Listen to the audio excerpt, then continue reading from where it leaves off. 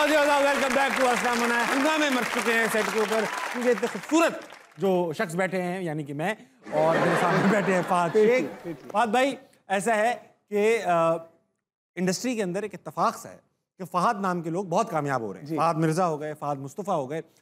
आपने कुछ सोचा?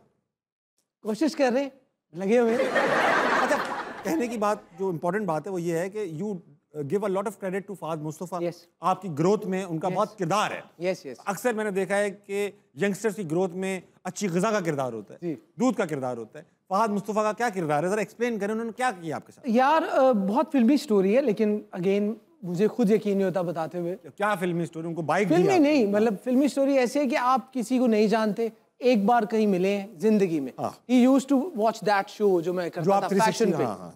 तो जब मुझे मैं आप लोगों से शेयर करना चाहूँगा कि मैं जब कराची गया तो आई टेक्सटेड पीपल कि यार मैं एक्टर बनना चाहता हूँ। इवन जिस चैनल के लिए मैं शो भी करता था they approach their own channel कि आप इसको चांस दें। हाँ। मैं मीटिंग पे गया वो आगे से चले गए मैं बैठा रहा तीन घंटे वापस आ गया। ओह वाओ और मैं अपनी आंट के पास गया था तो मैं वहाँ से डेली निकलता था। शी हैड नो क्लू कि मैं क्या करता हूँ। तो वो हमेशा पूछती थी क्या बना? मैं क्या बताऊँ क्या बना। मैं सीबी पे चला जाता था बैठने।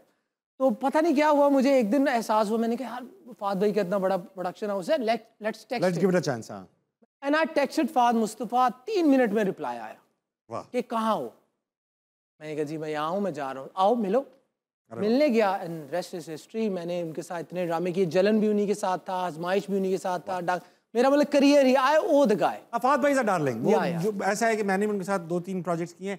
ऐसा लगता ही नहीं वो इतने सीनियर आदमी जी, हैं जी, जो पाकिस्तान के सुपर स्टार हैं वो आपको बना देते हैं सुपर स्टार पाँच दस मिनट में। आपको लग रहा होता है ये तो जूनियर है फहद लड़का इसको मैं संभाल लूँगा।